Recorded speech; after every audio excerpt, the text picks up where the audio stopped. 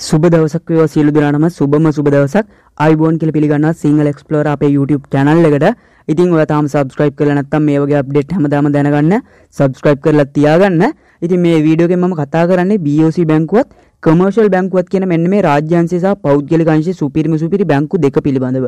ඉතින් මෙතනදී මම ඉස්සරහට කතා කරනවා ඔයාලා තැන්පත් කරන්න බලාපොරොත්තු වෙන මුදල් වලට ඔයාලට කොයි වගේ පොලි ප්‍රමාණද ලැබෙන්නේ ඒ වගේම මෙන්න මේ ටැක්ස් එක අඩු කරාම කොයි වගේ පොලියක්ද ලැබෙන්නේ රුපියල් ලක්ෂ 5ට ලක්ෂ 10ට ලක්ෂ 15ට සහ ලක්ෂ 25 කියන මුදල් ලේඛකයන් සඳහා අපිට ලැබෙන පොලි ප්‍රමාණ මෙන්න මේ බැංකු දෙකට සාපේක්ෂව මං වෙන වෙනම සටහන් කරලා තියෙනවා. ඉතින් BOC බැංකුවෙන් අපිට දින 100කට ලැබෙන්නේ 100ට 20ක පොලි අනුපාතිකයක්. ඒ වගේම කමර්ෂල් බැංකුවෙන් 116.5ක පොලි අනුපාතිකයක් තමයි ලැබෙන්නේ. ඉතින් සාපේක්ෂව තුනයි දශම පහකින් පොලි අඩුවේ කමර්ශල් බැංකුවේ.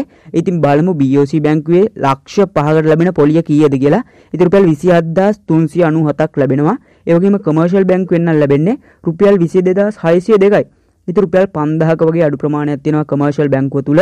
ඉතින් මෙන්න මේ අනුපාත සහ මෙන්න මේ පොලි 105 ටැක්ස් එකට යටත් කරලා හදලා තියෙන නිසා අය 105ක් අඩු කිරීමට අවශ්‍ය නැහැ. ඒ වගේම ලක්ෂ 10ට ලක්ෂ 15ට සහ ලක්ෂ 25ට තියෙනවා. ඉතින් රුපියල් ලක්ෂ 25ට ගිහිල්ලා බැලුවොත් එතනදී BOC බැංකුවෙන් ලැබෙන රුපියල් 130136ක මුදලක්. නමුත් කමර්ෂල් බැංකුවෙන් ලැබෙන්නේ රුපියල් 1,7363ක්. ඉතින් රුපියල් 23000ක වගේ අඩු ප්‍රමාණයක් පෙන්වනවා කමර්ෂල් බැංකුවේ. ඉතින් ඔයාලට පුළුවන් මෙන්න මේ කියන බැංකු දෙක සංසන්දනය කරලා හොඳ FD එකක් ආරම්භ කරන්න.